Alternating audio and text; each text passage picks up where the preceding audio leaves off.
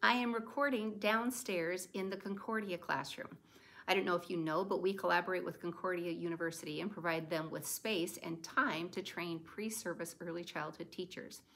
In fact, this week we are welcoming two practicum students, Miss Maddie and Miss Page. Next week we'll welcome a practicum student from Southeast Community College um, that will be there on Tuesdays and Thursdays. So your child will be talking about some new teachers. One of the things we talk about with them is developmentally appropriate practice. It is not appropriate with early childhood students to sit them down at tables and do worksheets. That's not how children learn best.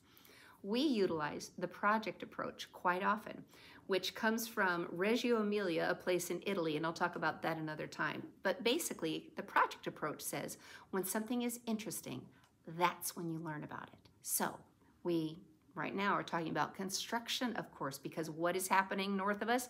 That house is being demolished and rebuilt. So we start with what do you know about this subject? What can we do, actively do to learn about it? How can we answer questions without using the internet? And then when it's done, what have we learned? So this has been fascinating with this awesome construction project that we've begun. Thank you so much if you sent in your name stories. I'm just waiting on two and you'll soon see our classroom decorated with your beautiful name story banners. Enjoy this peek into our week. To the hair salon. I went, I went to Dorchester. From the sky. Dorchester town. from the sky. So it's you, were you on a trampoline or a bounce house?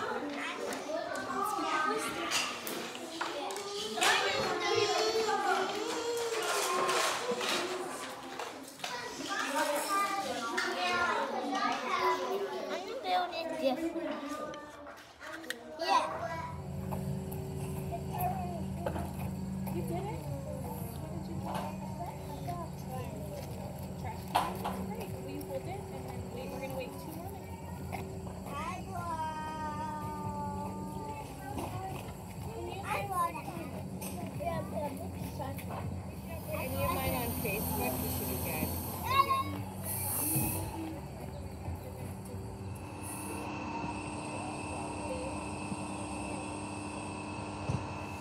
Send it right now. Send it to the workers. A saw? What were they cutting? Um, I thought I needed a saw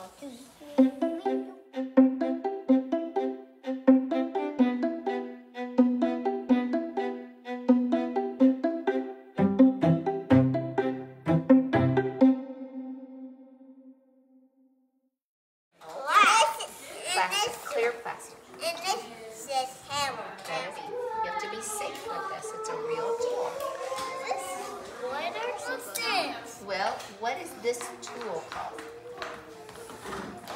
It's a wrench.